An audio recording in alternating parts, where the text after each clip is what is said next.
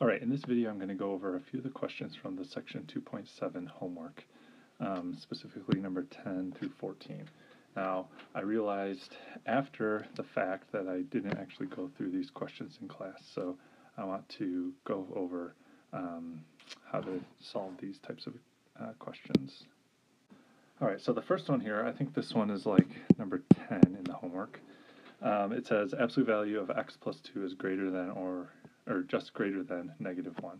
Now, if we recall, anytime we have an absolute value expression, um, that is going to equal either 0 or some positive value. So because this says x plus 2, absolute value of x plus 2 is greater than a negative number, what we would say is any, any x value that we substitute in here is going to make this expression or this inequality true. So let's just pick a few x values and see what happens. Uh, let's say if x is, I don't know, 10. If we plug in 10, we're going to have 10 plus 2.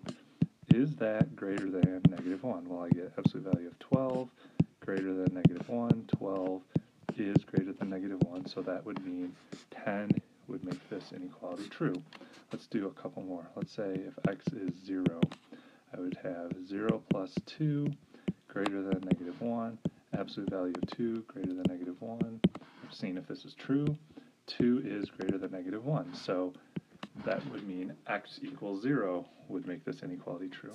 Now let's pick a negative number. How about x equal to negative 5? If we do this, we're going to say negative 5 plus 2 absolute value, is that greater than negative 1? Well, I get negative 3 absolute value of that is going to be 3. That is greater than negative 1. So just based on these three examples, it would appear that any number we plug in for x is going to make this true. Um, and this is in fact the case. So if we were to graph this on a number line, we would say, well, from negative infinity to positive infinity, every value is going to be shaded. So if we wanted to write this in interval notation, we're going to say all values between negative infinity and positive infinity would make this true. So anytime we end up with a solution, I'm sorry, I should say, we will end up with a solution in this form anytime we have an absolute value where we are greater than a negative number. If we have an absolute value expression that's greater than or greater than or equal to a negative value, um, we will always have all real numbers like this. All right, this next one, I think this might have been similar to number 11 or 12. Um, so we have an absolute value inequality. When we are trying to solve an absolute value inequality, we want to isolate the absolute value expression first. Here, this is all already isolated. It's by itself on the left-hand side. So what we do is we take what's inside the absolute value. Oops, that should be a 9. What's inside the absolute value bars, and we're going to make this into two inequalities. So the first one we keep everything the same. We just remove the inequal or the absolute value symbols. The second inequality we're going to say is 10x minus 9. We reverse the inequality symbol and we take the opposite of the value on the right hand side. Then we just solve each of these um, as, as though this were a regular inequality. So 10x is greater than 24. Divide by 10. X is greater than 24 over 10, which is 12 over 5. On the right hand side, I'm going to say 10x is less than negative 15 plus 9 is negative 6. Divide by 10. We get x is less than negative 6 tenths, which is reduced to negative 3 fifths. All right, so um, we have two separate inequalities here. Now, I'm just going to take the one on the left, put it on the number line, and take the one on the right and put it on the same number line. So this first one, x is greater than 12 fifths. Well, 12 fifths is on the positive side, greater than, so I have a parenthesis. If we're greater than 12 fifths, we're going to the right. And then x is less than negative 3 fifths. Less than is going to be to the left of negative 3 fifths. All right, so there's two sections on the number line. This, is, this means we're going to have two parts uh, for the uh, two parts for the interval notation. So this first one, we're going to say negative infinity up to negative 3 fifths, put a parenthesis there. On the second section, I'm going to say from 12 fifths to positive infinity. So we have two parts of the interval um, here.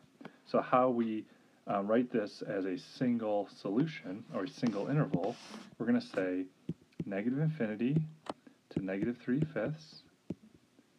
What we do is we use this symbol. This is called a union symbol. And then we say from 12 fifths to positive infinity.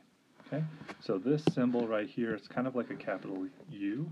We call this a union. All right, so um, we combine two parts of the interval notation in this way with a union symbol. And one last thing to say about this union symbol. In WebWork, we're just going to use, to get this union symbol, all we do is we type in a capital U um, on the keyboard. So parenthesis, negative infinity, comma, negative 3 fifths, parenthesis, and then capital U, and then write the second uh, part of the interval. All right, so this is a third question that uh, we see in the homework. I think this is the very last one, number 14. All right, so this is called a compound inequality when we have two inequality symbols. So what we do is we're trying to solve for x here. So first thing we would do to solve for x, imagine that this is not even here. If we're just looking at the left side, well, what we would do is we just subtract 3 from each side and then divide by positive 5. Well, what we're going to do is I'm going to subtract 3 from each of these positions, but I'm also going to subtract it on the right. So I subtract 3 from kind of each section of the inequality. So we get negative 8 less than 5x less than or equal to 10. And then to get x by itself, we divide by 5. So I divide by 5 in each position. So I get negative 8 fifths less than x less than or equal to 2. All right, so again, if we want to write um, or graph this on a number line, let's just take it piece by piece. We can think of this as 8 fifths less than x and x less than or equal to 2. So on the number line, this left side, well, we have, this is saying x is greater than negative 8 fifths. Well, negative 8 fifths is on the negative side. If I'm going greater, I'm going to do a parenthesis, and I'm going to the right. Now, this second inequality, this is saying x is less than or equal to positive 2. Now I'm going to use a bracket because we have less than or equal to. And then I'm going to shade down here. So what's happening is our solutions are anywhere in between here. So any number that's in between negative 8 fifths and 2 makes up the solution set.